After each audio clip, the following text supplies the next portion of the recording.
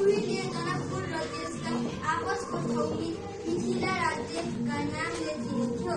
त्यस राज्यमा गोरुझा नाम गरेको धेरै चलाक मान्छे बस्थे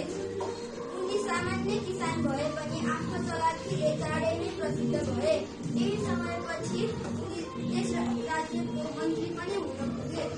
मिथिला राज्यको राजा ज्यादै लहरी स्वभाव- स्वभावका थिए उनी सभामा अनौठा ल्याउँथे एक दिनको कुरा हो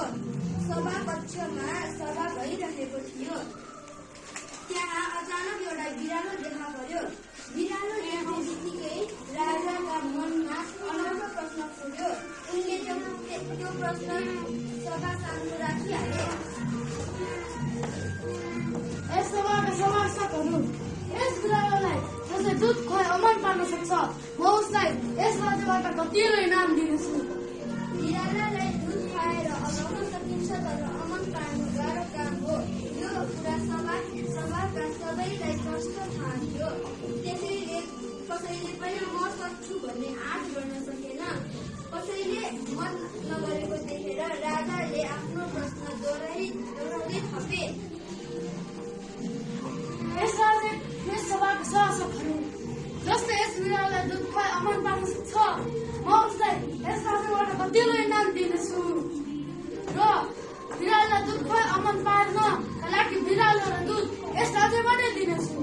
र एक महिनाको समय पनि दिनेछु तर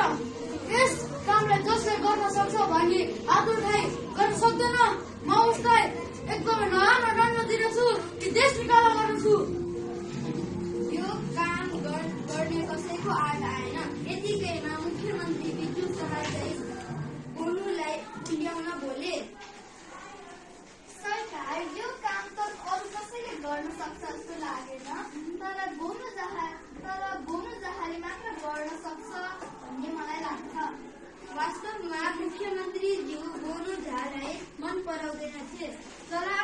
गोनुले कुनै दिन आफ्नो पद उठाइहाल्नेलान् भन्ने मुख्यमन्त्रीलाई दृढ थियो। त्यसैले उनी गोनुलाई उक्साएर खतरामा हुन चाहन्थे। यो कुरा गोनुले बुझिहालेर भने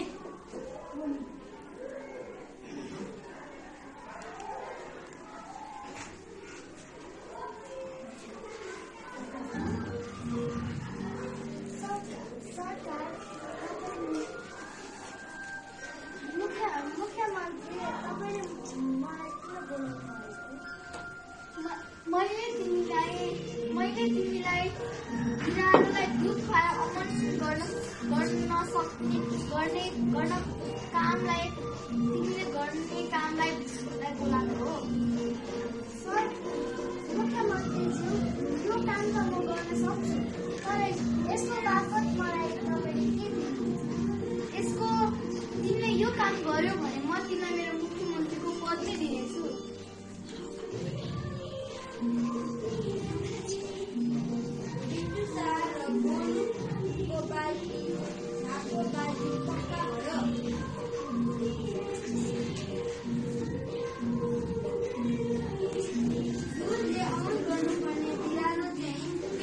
बिजु शाहलाई नै दिने भए गोरु दरबारबाट दुध दलेर बेस गरी उमालेर